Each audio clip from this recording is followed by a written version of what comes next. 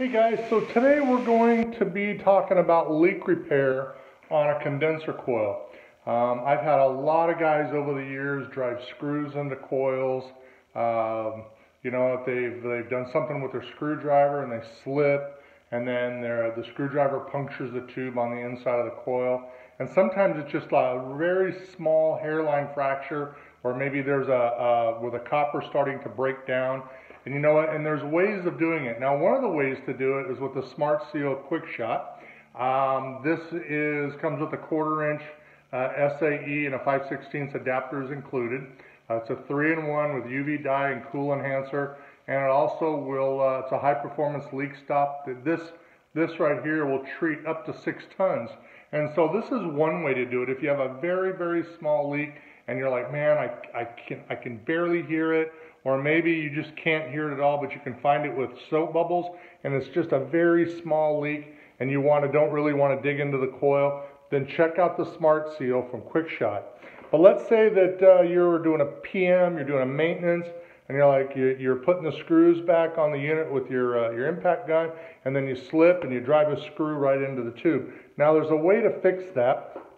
Today we're going to be using the ASCO torch, uh, the acetylene uh, torch uh, tip here from uh, ASCO. You can get this at TruTech Tools.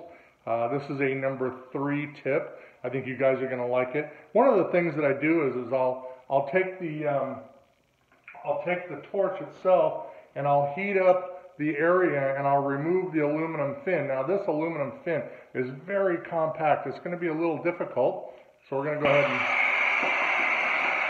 let's, let's remove some of that aluminum fin. So we're going to heat this up.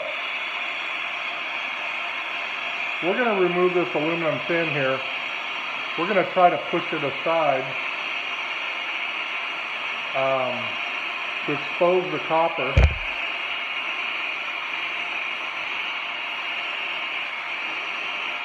You can start to see where the copper is being exposed.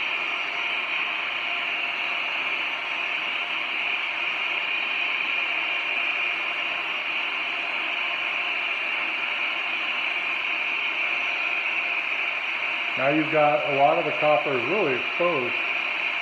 You can see it was very fast. You're not damaging a lot.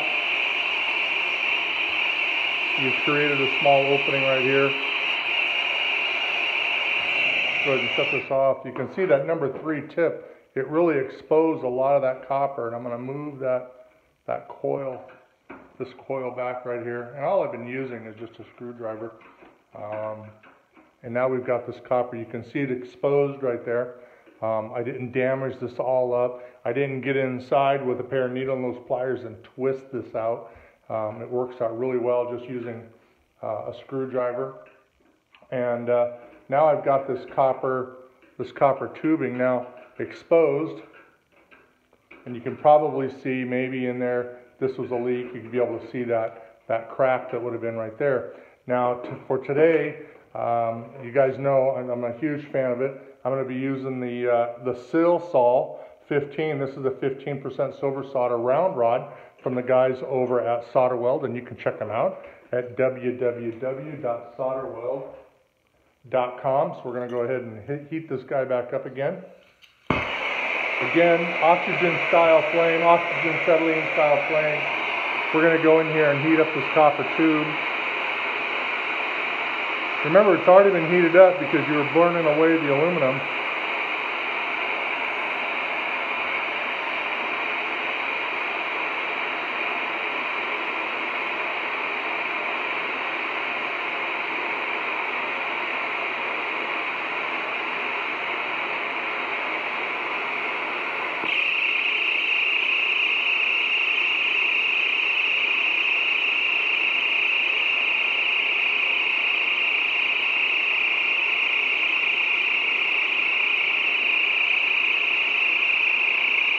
There's a lot of coil faces here, so you really have to heat up that tubing.